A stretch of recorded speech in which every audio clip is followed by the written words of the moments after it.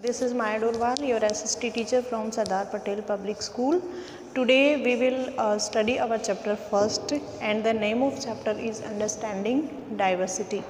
अगर हम इसका मीनिंग देखें डाइवर्सिटी का तो डाइवर्सिटी का मतलब होता है विविधता अलग अलग जो चीज़ें होती हैं उन्हें आपके बोलते हैं डाइवर्सिटी तो अंडरस्टैंडिंग डाइवर्सिटी का मतलब है विविधता की समझ आज आपको बताएँगे कि डाइवर्सिटी क्या होती है और किस किस प्रकार की डाइवर्सिटी पाई जाती है तो देखो, पहले आपके डेफिनेशन लिख रखी है diversity is the presence of variety in society और the state of being varied from one another कि डाइवर्सिटी क्या होती है? Presence of variety in the society कि हमारा जो समाज है, उसमें जो अलग अलग प्रकार की वैरायटी पाई जाती हैं, एक दूसरी चीज़ों से जो डिफरेंस पाया जाता है, जो अलग पाए जाते हैं कुछ चीज़ें, उसे ही आपके क्या बोलते हैं? डाइवर्सिटी डाइवर्सिटी आप देखें तो सोशली भी होती है कल्चरली भी होती है फ़िज़िकल भी होती है है ना?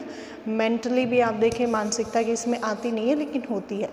फिज़िकली आप अगर देखें, जैसे कि मान लो आपकी क्लासमेट देखें या अपनी फैमिली में देखें तो आप देखेंगे कुछ लोग लंबे हैं, कुछ लोग छोटे हैं, किसी का कलर ब्लैक है, किसी का वाइट है आइज़ का कलर अलग होता है हेयर्स अलग होते हैं तो ये क्या होती है उनकी फ़िज़िकल जो स्ट्रक्चर है, उसमें डाइवर्सिटी होती है। अब देखो डाइवर्सिटी आपके यहाँ पे तीन टाइप की दे रखी है। पहले आपके है फ़िज़िकल डिफरेंस फ़िज़िकल का मतलब होता है शारीरिक फ़र्क। शारीरिक कैसे कि कोई व्यक्ति है, उसकी बॉडी की बनावट कैसी है स्ट्रक्चर कैसी है, उसे ही आपके बोलते हैं फ़िज़िकल डिफरेंस इसमें देखो टॉल कुछ लोग हैं, क्या होते हैं? लंबे होते हैं। कुछ लोग हैं, वो शॉर्ट होते हैं। किसी के बाल हैं, वो करली होते हैं, एकदम घुंघरालू होते हैं। किसी के स्ट्रेट होते हैं।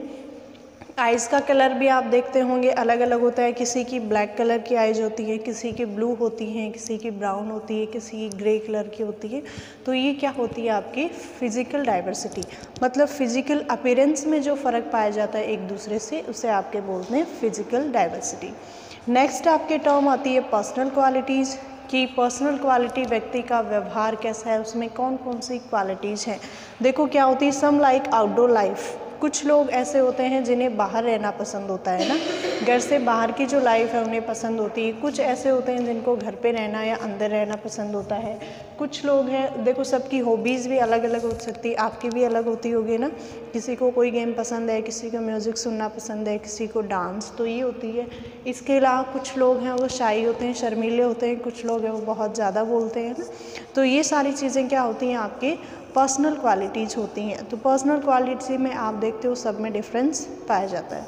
नेक्स्ट आपके आता है कल्चरल डिफरेंस आपको पता है कि इंडिया बहुत ही वास्ट कंट्री है। इसमें अलग अलग कम्युनिटी के अलग अलग स्टेट के लोग रहते हैं एक साथ। तो कल्चरल डाइवर्सिटीज़ भी बहुत ज़्यादा पाई जाती है। कल्चरल डाइवर्सिटी में आप देखें तो इनका रिलीजन अलग होता है। लैंग्वेज भी अलग अलग होती है, उनके ड्रेसिंग सेंस हैं वो भी अलग होते हैं, उनके फेस्टिवल्स अलग होते हैं। सारी चीज़ें हैं वो एक स्टेट से दूसरे स्टेट में या एक कम्युनिटी से दूसरी कम्युनिटी में अलग अलग होती है। तो ये आपकी क्या कहलाती है? कल्चरल डिफरेंस है ना?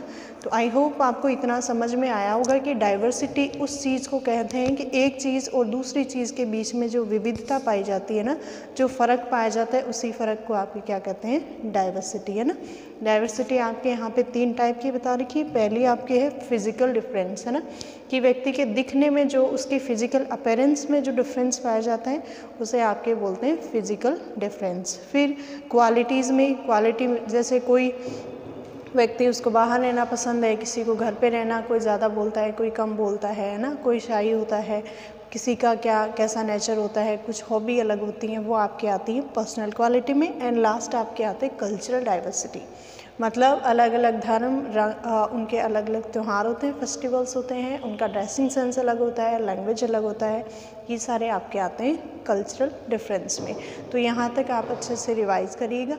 नेक्स्ट पार्ट अपन नेक्स्ट वीडियो में पढ़ेंगे। Thank you.